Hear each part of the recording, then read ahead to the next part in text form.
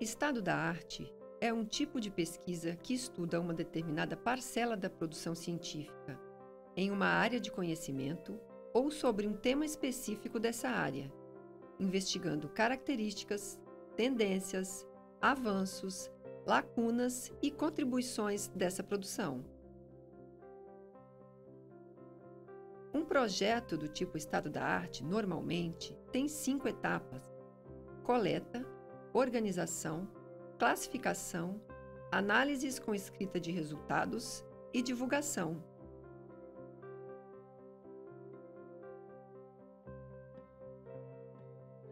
A coleta pode ser de teses, dissertações, artigos científicos, dentre outros documentos científicos. A coleta é feita em um ou mais repositórios, dentro de um campo do conhecimento, a partir de critérios de seleção pré-estabelecidos. A organização é feita para facilitar o acesso e a visualização dos itens coletados. Pode ser feita na forma de uma planilha, de um banco de dados e etc.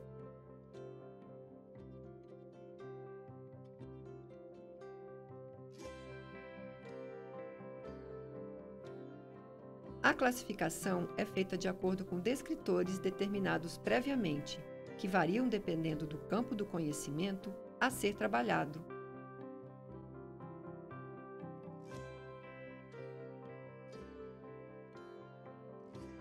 Muitas vezes, o grupo de pesquisadores faz reuniões de discussão para confirmação das classificações.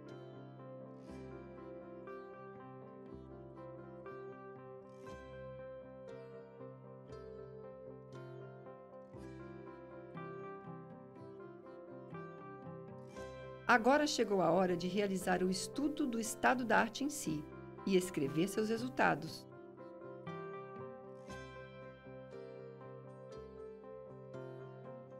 Por fim, é importante divulgar os resultados para a comunidade científica, na forma de bancos de dados, artigos, teses, livros, infográficos, dashboards e outros.